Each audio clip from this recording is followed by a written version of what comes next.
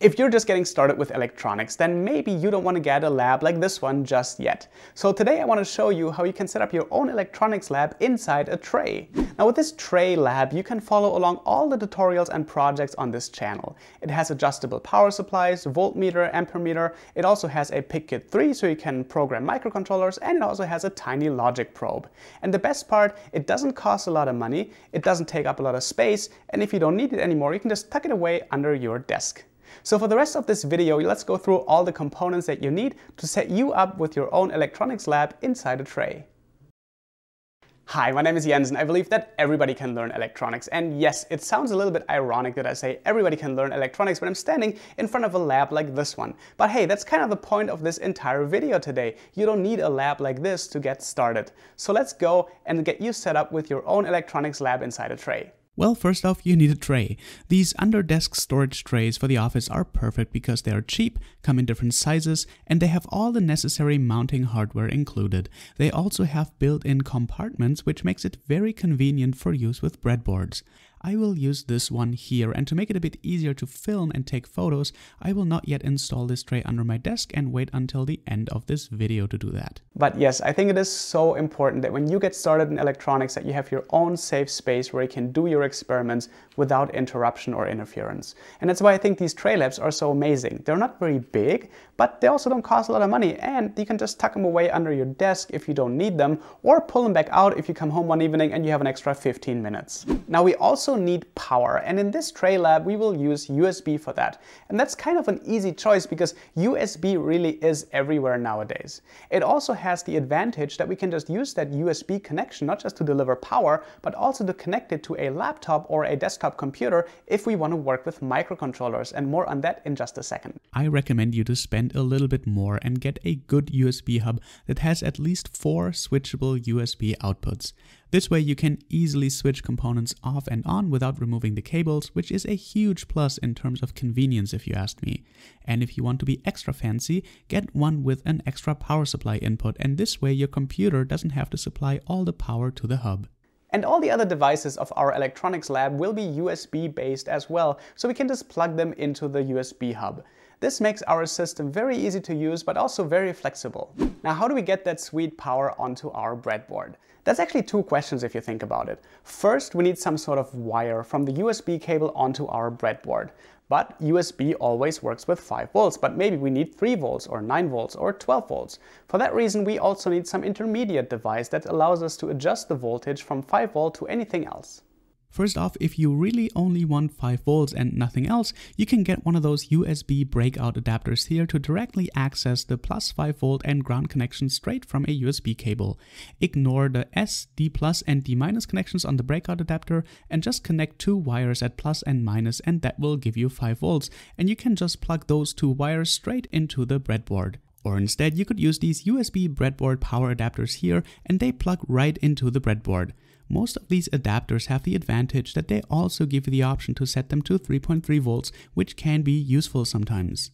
Now for other voltages, we have to get more creative. In my lab behind me, I have this big, bulky linear power supply and I love it.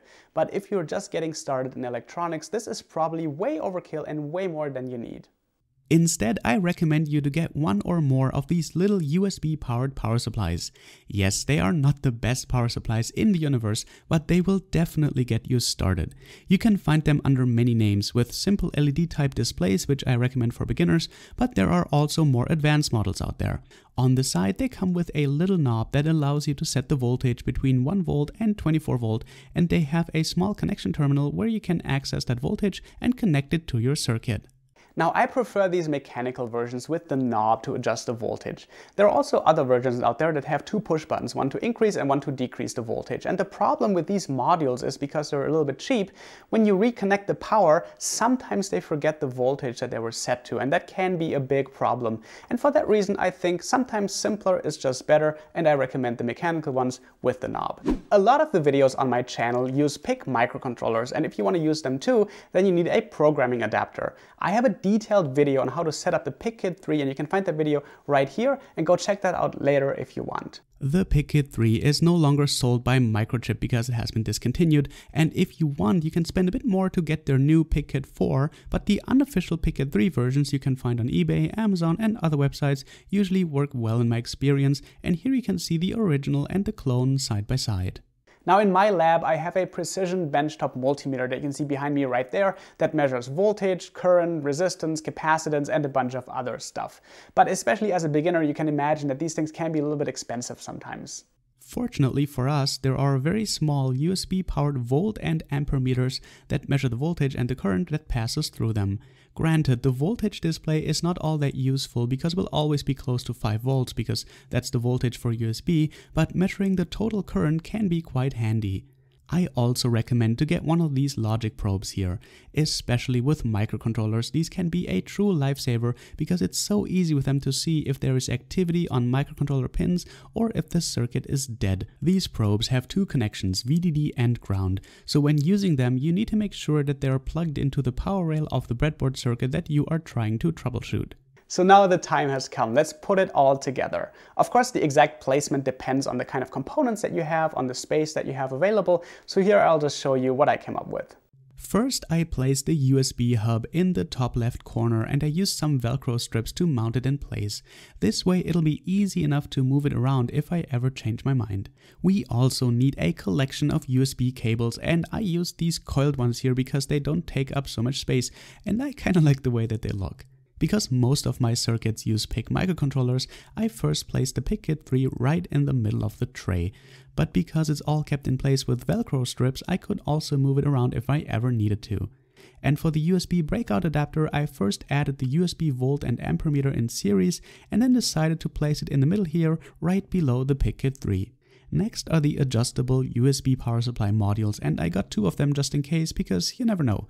I again used some velcro strips to place them on the right side inside the upper compartment of the tray. And then we can connect it all together with the USB cables. Now these middle compartments here are still a bit empty, but like we saw before, the dimensions work out perfectly for large, medium and small breadboards. The breadboards are the only thing I don't want to fix in place with velcro because I end up moving them around too much. And then you can store the logic probe or any other small tools in this front compartment here so that you have it all in one place. So there you have it, your own electronics lab inside a tray. The overall cost of these components should be in the neighborhood of $150, which I think is a great deal to get started in electronics. Now what we haven't talked about yet are the components that you need for each and every single project, you know, like resistors, capacitors, integrated circuits, microcontrollers, that sort of thing. Now all my tutorials and projects come with a detailed companion article where you can always find links where exactly you can buy these components, so I hope that's not too difficult for you to find them. But okay, I also want to really show you that this works and you can totally build the projects on this channel with this Tray Lab. So let's go through a couple of examples. Here's an example where we drive the WS2812 NeoPixel LEDs from within our Tray Lab. We can program the microcontroller with the included PICkit 3 and if we add more LEDs to the circuit, the total current consumption goes up as expected. And we can of course turn the entire circuit on and off with the press of a single button. As another example, this is the circuit from the MAX7219 LED multiplexing tutorial. It uses an 8x32 LED dot matrix display and as you can see, the dot matrix display really consumes some power. If we change the LED brightness level with this push button here, we can look at our ampermeter to see that the current really decreases to smaller values. And as a last example, here is the breadboard from our DS1302 real-time clock tutorial. Maybe you remember that we had some problems to get a high enough LED brightness because they were quite dim at 5V. Now that we have additional power supplies, we can use one of these to supply a dedicated LED voltage at 6V, 7V, basically anything we want. And yes, as you can see, the LED brightness really goes up.